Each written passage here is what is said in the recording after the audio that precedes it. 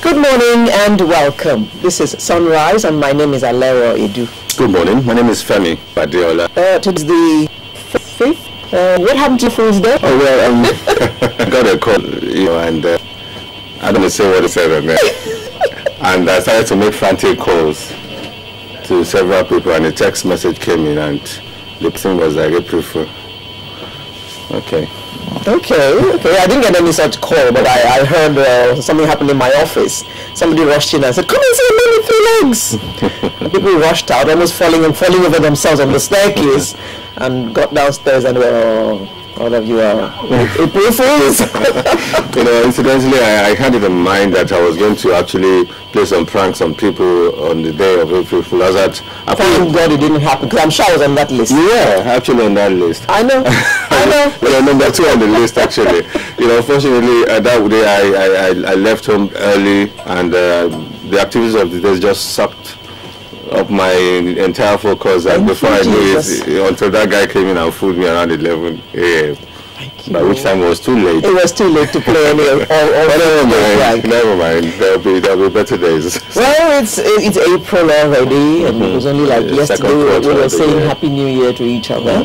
Second quarter has started, and in the course of the week, um, when the president was saying that he was granting amnesty to uh, the militants in Niger Delta, um, for me that wasn't the news at all. The news was um, he said to us, "Oh, don't you all bother about PHCN." I have promised you that by the end of the year we shall have 6,000 megawatts. So just look forward to that. In the meantime, just ignore the fact that right now you're getting the power one hour in six days. Well, um, Well, he didn't exactly say that, but that's, I'm adding that to don't worry, in, in, in, in, in, in, uh, in a few months' time we will have 6,000. So in the meantime, bear with us. well, he actually said don't bother. Well, don't worry about it. Well, I- I'm sure the um, president's spokesman will come out and say it was quoted out of context. But um, because I mean, The speech was reported in inverted commas. well, don't worry. Yeah, I'm sure what the president meant. Uh, I mean, I don't practice mental telepathy, so I wouldn't really be able to say uh, with definiteness that this is what it means. But knowing the president as a caring man, I'm sure, um, and being concerned himself, he has expressed ex- expressed concern over the situation in the power sector over and over. So I'd like to um, say that what the president meant is bear with us for now.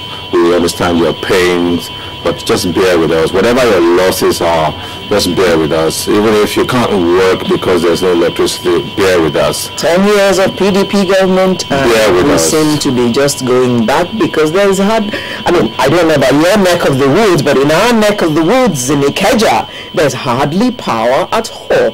One hour in three days, in five days, is not exactly having power. So PHCN, is it getting worse? Well, Will it really get any worse before it gets better by December? You know, because the president is saying we should all look forward to December.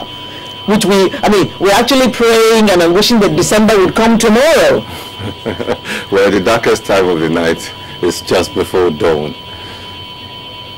This is April. Yeah, the president wants us to see April to November as um, the darkest part of the night. Oh, that's a long, darkest part.